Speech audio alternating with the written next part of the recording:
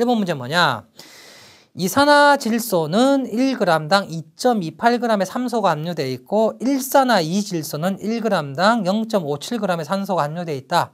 이 결과가 배수 비례의 법칙의 일치함을 보여라. 이게 뭐냐면 이 이제 돌턴이 뭘 했어요? 돌턴이 원자설이라는 걸 이제 주장을 할 때 가장 중요했던 이제 법칙이 뭐냐? 바로 이겁니다. 배수 비례의 법칙이에요. 그러니까 일, 이산화 질소하고 일산화 이질소라는 게 있는데 이때 당시까지만 해도 이게 어, 이제 뭐 어, NO2하고 N2인데요.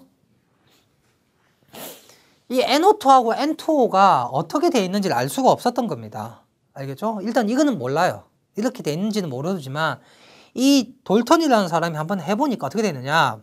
이산화질소는 질소 1g당 산소가 얼마더라? 그러니까 이산화 이산화 질소니까 요게 되죠. 요게 질소 1g당 산소가 얼마단 말이에요.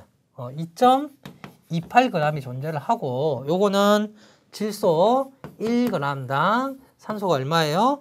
0.570g이 존재하더라는 겁니다. 두 다른 물질인데 이 두 개의 뭐예요? 산소의 비를 이 사람이 측정을 해본 겁니다. 질소를 똑같이 만들어 놓고.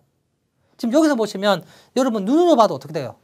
잘 보시면 어 이게 한 개고 여기 몇 개입니까? 두 개죠. 그런데 여기는 질소가 두 개의 한 개가 붙어 있으니까 질소 한 개로 따지면 이거 몇 개가 되는 거예요. 그렇죠. 0.5개가 되니까 요거하고 요거하고 몇 배 차이가 납니까? 그렇죠. 4개, 4배 차이가 나는 거예요. 산소의 개수가 몇 배 차이 난다? 4배 차이 납니다. 그런데 이 돌턴의 시대 때는 이 산소의 개수가 4배가 차이 난다라는 것 자체도 몰랐어요. 아시겠죠? 자체도 몰랐고 그런 이 산소가 몇 개가 있는지 질소가 몇 개 있는지도 전혀 모르는 상황입니다. 그냥 A라는 물질과 B라는 물질인데 이거 두 개 다 뭘로 돼 있더라? 그죠 질소하고 산소로 돼 있더라. 근데 이 사람이 어떻게 했느냐? 요걸 해가지고 요것을 어떻게 해봤느냐? 요것을 나눠 봅니다. 어떻게? 0.570분의 2.28을 딱 해보니까 얼마가 나오느냐? 얼마가 나와요? 4.00이라는 값이 나옵니다. 무슨 소리냐? 이게 항상 뭘로 떨어지더라? 정수로 떨어집니다. 그 말의 의미는 뭐냐? 이것이 어떻게 있는지는 모르지만 항상 어떻게 있다? 개수라는 개념으로 어떻게 할 수 있다? 우리가 표시할 수 있는 어떤 것들이다. 질소나 산소나.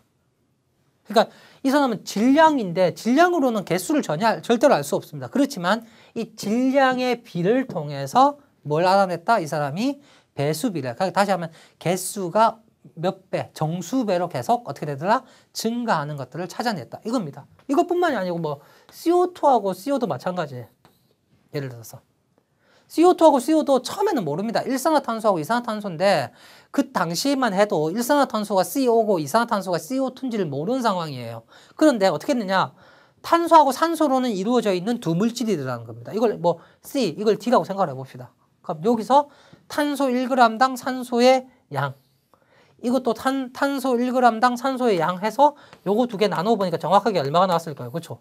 2.00이 나오더라는 겁니다. 이게 바로 뭐다? 배수 비례의 법칙이고 이걸 통해서 돌턴이 아, 이 모든 물질은 뭘로 돼 있다? 원자라는 걸로 존재한다. 라고 이제 설명을 하게 된 겁니다. 알겠죠? 그래서 그 개념 좀 기억을 하셔야 돼요. 나중에 그게 어디서부터 시작합니까? 질량 보존의 법칙이라는 것부터 시작하죠. 그러면 일정 성분비의 법칙, 돌턴의 뭐예요? 이제 원자설 이렇게 이제 넘어옵니다. 그래서 그 개념들은 여러분이 기억을 하시고 이 돌턴의 원자설이 어떻게 해서 나왔느냐 바로 이 배수 비례의 법칙을 통해서 나왔다라는 것을 여러분이 아시면 되겠습니다.